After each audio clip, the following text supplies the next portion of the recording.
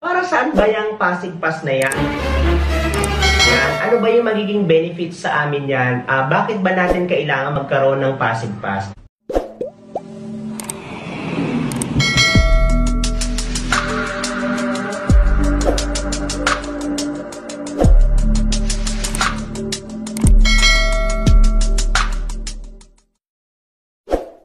Crisalin, isa nating contact tracer.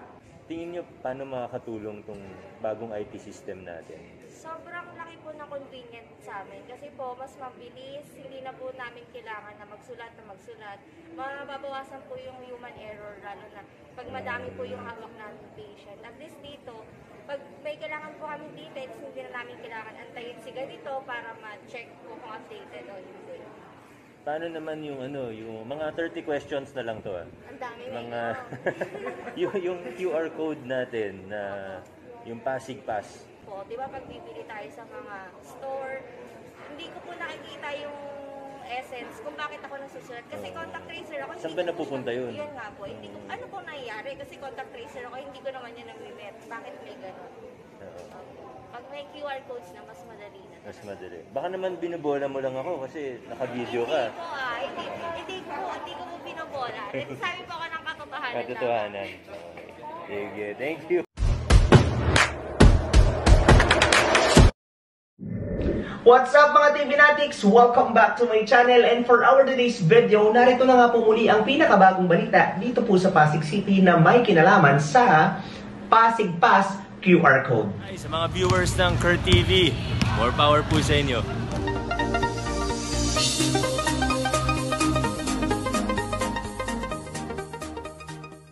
Yes, ang pag-uusapan po natin ngayon ay may kinalaman sa Pasig Health Monitor. Ito po yung Pasig Pass QR Code kung saan ipinost na nga po ito kamakailan lamang ni Mayor Vico sa kanyang mga social media account at gayon din po ang Pasig City Public Information Office at Marami na rin po sa ating mga Pasigenyo ang nagtatanong nito. Kaya naman, iisa-isahin po natin at ipaliliwanag po natin kung ano nga ba ang halaga nito sa ating buhay ngayong nasa panahon tayo ng pandemya? At kung ikaw nga po ay bago pa lamang sa aking channel and you want to know more about the Pasig Update, just click here to subscribe.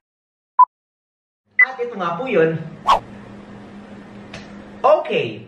Ito na nga po ang bagong Health Information Management System ng lungsod ng Pasig, ang Pasig Health Monitor. Actually guys, meron po tayong tatlong components ang Pasig Health Monitor. Narito po siya. Ayan, ang number one is yung Pasig Pass na may contact tracing solution. Ang number two naman po ay ang patient records na may database of medical records at ang number three naman po ay ang resource management integrated inventory of the city health resources. Ang layunin po ng Pasig Health Monitor ay mas mapabilis at mas mapahusay pa ang pagpapatibay ng serbisyong medikal sa ating syudad at ng kalaunan ay mapabuti natin ang ating kabuuang health outcomes. Sa pamamagitan nito, mas mapapabilis natin ang magiging koordinasyon ng iba't ibang sanghay ng ating City Health Department na may kinalaman po sa COVID-19, medical response, o maski sa regular health concerns. Mas madali rin pong matutukoy ang estado ng health resources ng ating syudad kaya naman mas mapabil at mas mabilis nating matutugunan ang mga kakulangan sa supplies, facilities at iba pang health inputs.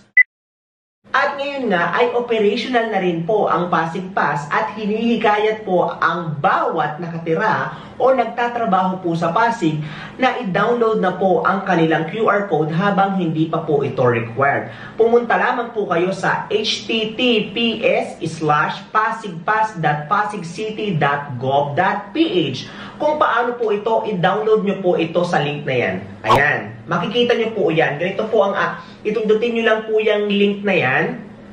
Tapos may lalabas po dyan na individual sign up. So ayan po, nababasa nyo naman po, di ba? Individual sign up or individual sign in or business sign up o di ba or business sign in. Pindutin nyo po yung individual sign up. So ayan, nakalagay po dyan yung sign up. So itatype nyo lang po dyan. So may nakalagay na po dyan na pasigenyo. Tapos yung suffix, ang ibig sabihin po dyan kung kayo po ay deterred, kung kayo po ay junior, so kung may karugtong pa pong inyong mga pangalan.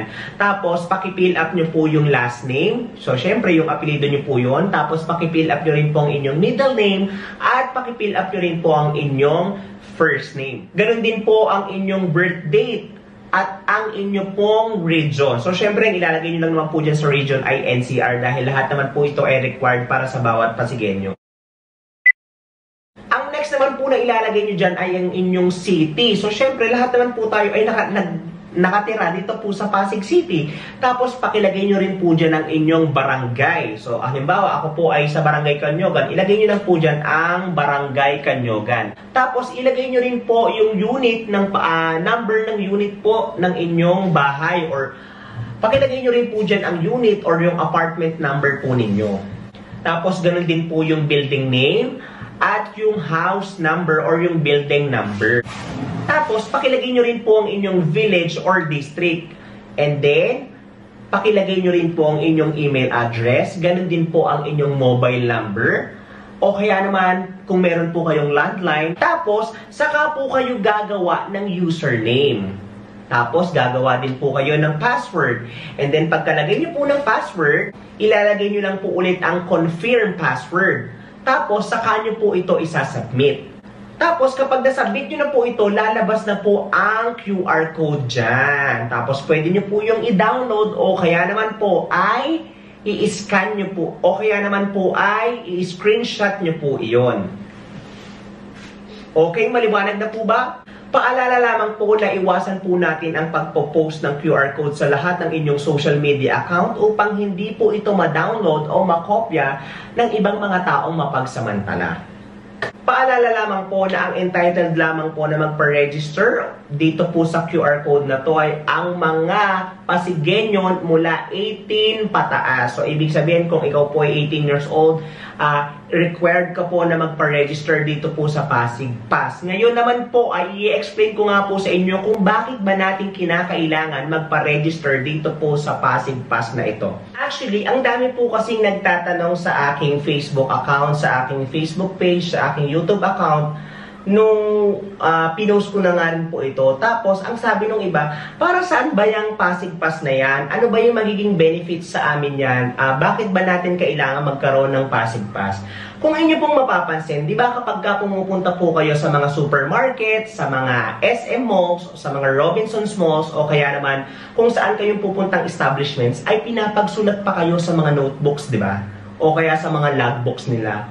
So, as you can see, iisang ballpen lang po yung ginagamit nyo o ginagamit natin. Actually, pagka pumupunta ako talaga sa mga sa mga convenience store o kaya sa mga supermarket, napapansin ko talaga iisang ballpen lang yung ginagamit natin.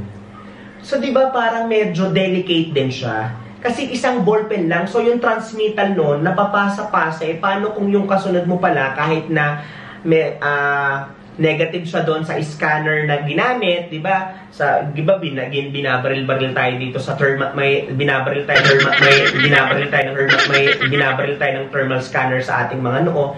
Pero hindi natin alam, malay mo kung asymptomatic pala siya. Kasi nga, yung mga sinundan mo, o kaya yung sumunod sa'yo, or even you, di ba?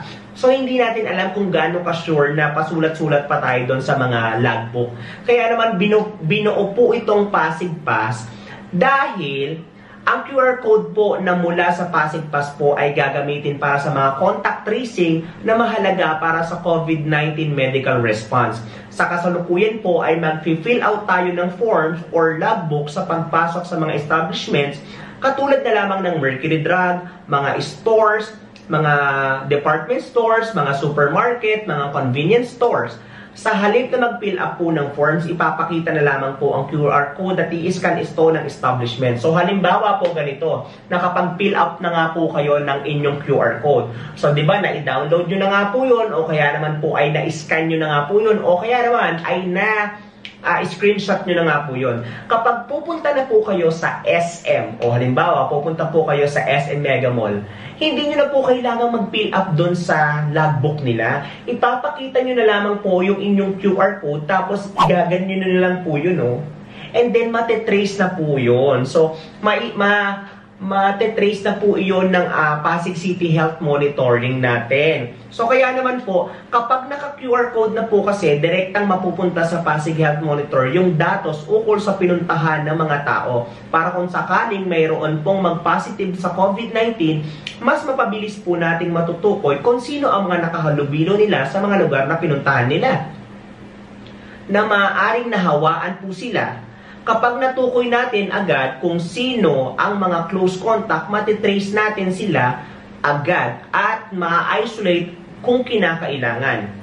Ayun, so 'di ba naisip niyo na nga po 'yon. So, alimbawa, pumunta po kayo sa sa Robinson Galleria or pumunta po kayo sa SM Mega Mall tapos syempre ang daming tao doon, nakipag-socialize kayo sa kanila. So, kung hindi natin alam kung sino yung mga nami-meet-meet natin, So, kapag ka na-scan nyo po inyong QR code sa inyong, kapag ka na-scan nyo po ang inyong QR code kung saan po kayo pumuntang establishments, so matitrace po agad ng ating Pasig City Health Monitor kung saan nga po kayo pumunta, kung saan nyo po nakuha yon, di ba, yung virus na yon. So, mas madali na, di ba, kesa, kesa sa pag-fill up, fill up pa tayo ng mga form, or pag fill up, fill up pa tayo sa mga logbook, mas delicate yun eh. So ngayon, contactless na nga po itong ah, Pasig Pass natin. Kaya naman, nawa ay naunawaan po at naintindihan po ng ating mga Pasigenyo kung gaano po kahalaga ang QR code na ito para sa contact tracing po ng ating syudad. So, di ba, mas madali na po para sa ating malaman kung saan po natin nakuha yung virus na ito or kung saan po tayo nahawa, kung saan po tayong lugar ah, pumunta using this QR code, mas mapapabilis nga po yung contact tracing natin. At ngayon nga po, gumawa na nga rin po, nag-put up na din po si Mayor Vico sa Pasig City Hall ng ating contact tracing center po. So, eto po siya. Ayan! So maraming maraming salamat po sa Bokong Way family kasi sila po talaga yung nag-sponsor niyan dito sa atin para maputa po yung contact tracing center po dito po sa Pasig City. Okay! Sana po ay naunawaan niyo po itong pag-explain ko po sa inyo about sa Pasig Pass QR Code at kayo po muli ay nakatutok sa nag-iisang sped teacher vlogger ng Pasig. See you all next time dito lang sa Kurt TV. Please don't forget to like and subscribe.